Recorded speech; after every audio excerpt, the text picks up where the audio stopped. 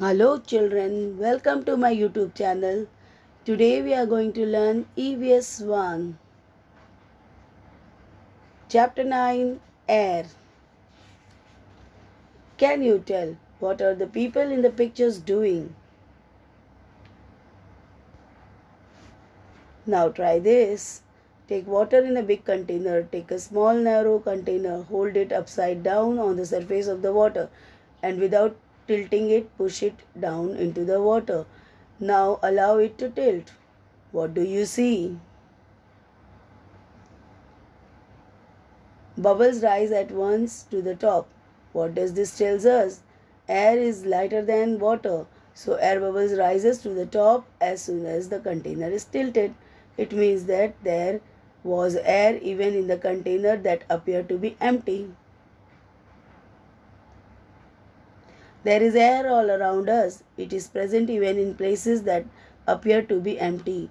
Then how far around us does air spread? Try this. Take large sheet of any waste paper or obtain old newspapers of about one month and up tear each of the sheets into four pieces. Now Place these sheets of paper one at a time in a pile on the floor. As the pile grows, observe the differences that can, can be seen in the layers of paper at the top of the pile and those near the floor. When all the sheets have been placed, observe the differences in upper and lower layers of the papers. What do you see? As we place more and more papers on the pile, the sheet at the lower level are pressed down by the sheets above them. The distance between the papers in the lower part of the pile becomes less, while the papers in the upper part appears to be further apart. What does this tells us? The nearer a sheet of paper is to the floor, the greater is the number of papers above it. It means that the lower layers bear more weight than the upper layers of paper. Compared to that, the upper layer bears less weight. Similarly, uh, similarly, the atmosphere is like an envelope. The earth on which we live is round in shape like a ball. There is air all around, around the earth.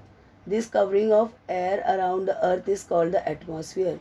As we go farther from the earth, the layer of the air becomes thinner that is the layer of air closest to the earth are very close to each other while the ones at higher levels are not so close the air at greater heights is rare. Now try this. Take a slight deep dish like a saucer. Stand a candle at its center. Fill water in the dish. Light the candle. Now place a glass tumbler over the candle. What do you see?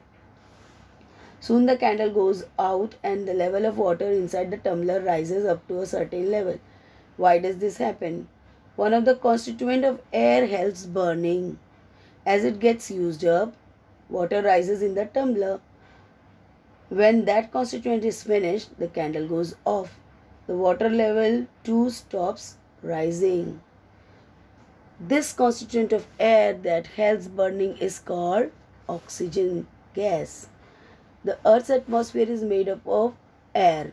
The circle in which the air, the picture shows all the air in the atmosphere.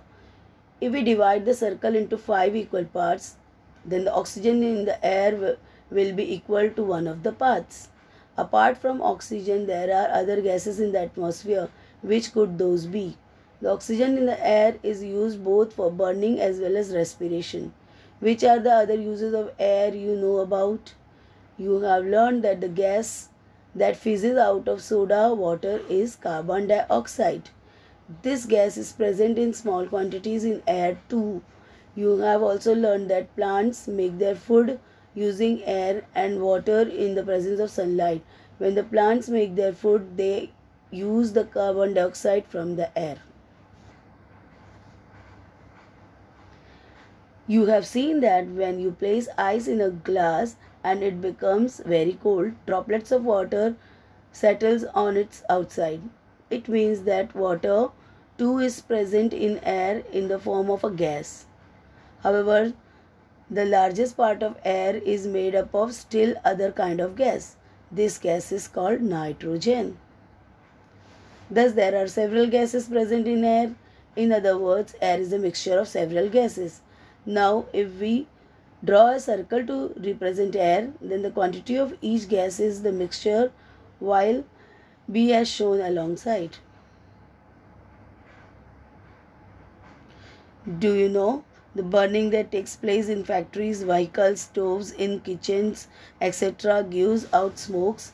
This smoke too mixes with the air around us. What we have learned.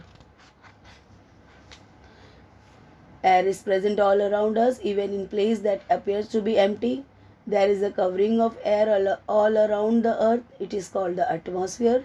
The layer of air in the atmosphere close to the earth are pressed closer to each other while the upper layers are rare.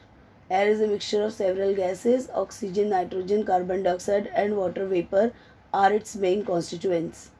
Always remember, fuel like coal, petrol, diesel give out smoke while burning which mixes with the air. This can cause ill health. With this I have end my chapter. Thanks for watching.